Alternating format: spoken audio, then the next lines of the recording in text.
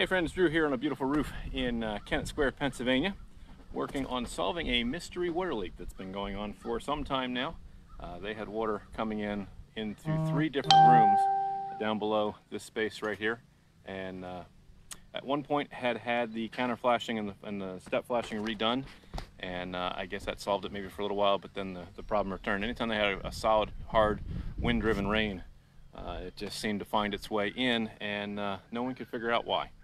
So the only way that we can guarantee that it's not going to leak again is to take the whole thing apart and do it again from scratch.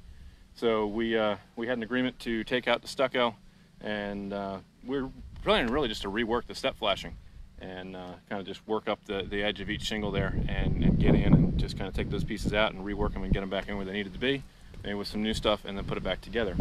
Uh, sadly, when we got the stucco apart, we found that they actually had two different layers of uh, step flashing in there. And uh, the, the new one that was put on it was not doing its job obviously because things were still leaking. And the one in the back was all kind of jacked up and not how it should have been. And we couldn't physically get to it to make any changes to it because of the new layer of shingles and the new underlayment that was over it. So I'll take you up the roof here a little bit. And we've already stripped off um, the upper layer. So what we're down to now is a piece of ice and water shield that they had run down tar paper was over top of that. Um, they had the step flashing actually under the ice and water shield, but there was nothing that really made this connection to the wall. Uh, big giant gap right here uh, between the plywood and the sheathing, and um, just no solid connection here. And then this just kind of sitting there and uh, whatever. I don't think the water was getting down through the stucco. That was the first thought was, we need to do something with the stucco? Uh, it's more just how it was flashed and how it was counter flashed and the moisture getting in this way uh, when the wind drove it, we think.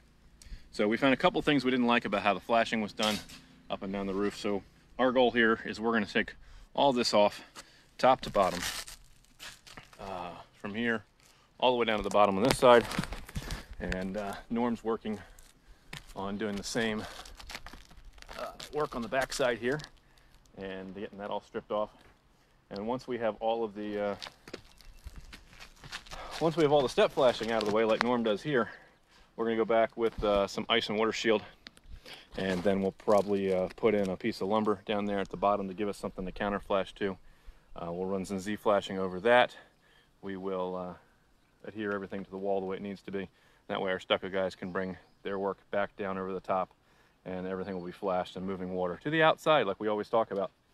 So that's the fun scoop with what's going on with this project. Uh, at this point we're going to wind up replacing this entire roof because we just can't get the shingles apart in a way that's going to allow us to put it back together in a watertight manner. So uh, this whole roof is going to come off and get redone. But right now we're worried about getting that corner waterproofed in the way it needs to be. So piece of lumber in there and uh, new step flashing, some new Z flashing, some new ice and water shield, and it's gonna be beautiful when we're done. So that's what we're working on here in Kennett Square, Pennsylvania. If we can solve a problem for you, give our office staff a call weekdays 9.30 in the morning until 2 in the afternoon at 484-748-0008. Choose option 2 for Cope Construction and Renovation and Extension 2 for new projects, and we'll be happy to serve you. If you'd like to take a picture of what's going on at your house, send that to us right here on our Facebook page. Just click that message us button up there on the cover photo, or if you prefer email, office at copebuilt.com, and our team will get back to you. Remember, when we're finished with the project, you're to be proud to say it's not just done, it's Cope Built. We'll catch you guys in another video. Bye for now.